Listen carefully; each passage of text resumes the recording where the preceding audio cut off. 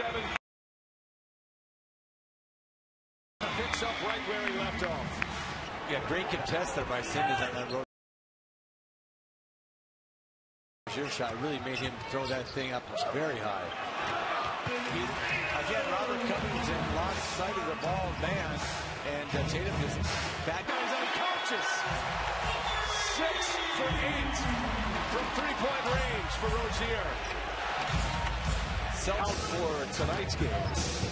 Although the MRI came up clean and positive mid rebound. Saric will push it up to Simmons.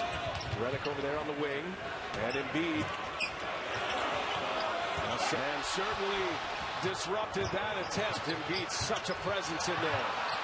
Comes the rebound. Foul with eyes in the back of his head. Gets that steal on a pass from Baynes. And